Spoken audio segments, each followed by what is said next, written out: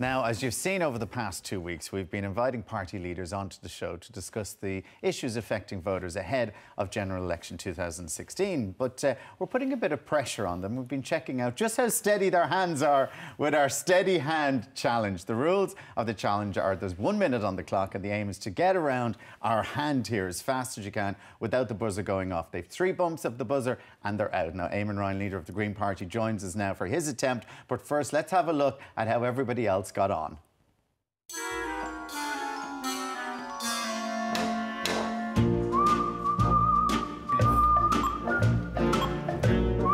One, okay.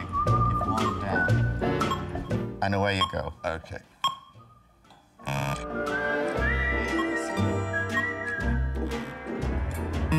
Two, you still have another one.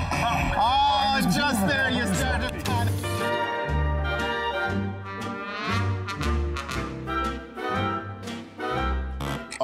That's one. Oh. Two. Oh, oh, you're gone.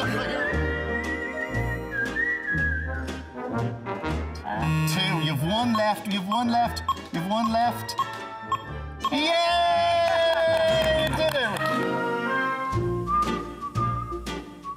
So no pressure, no pressure. The pressure is on. Lucinda, as we said, is our leader at the moment. So she's the one that got around uh, in the in the fastest time. Without uh, the rest were basically eliminated. So are you up for this? Uh, no. No.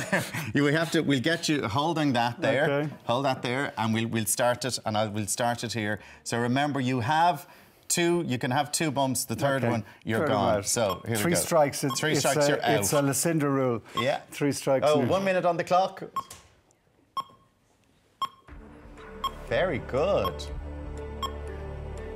Oh, I think, I think, oh, two. You still have one left. Oh, the three there on 47 seconds. 47 seconds you got there and you were out. But well done. Oh. You gave it a good try. Thank you very much for doing that for us this morning. So there you go. Lucinda's still in the lead. So I think it's going to be hard to beat that. Uh, we're going to take a break now. Join us for more Ireland AM shortly.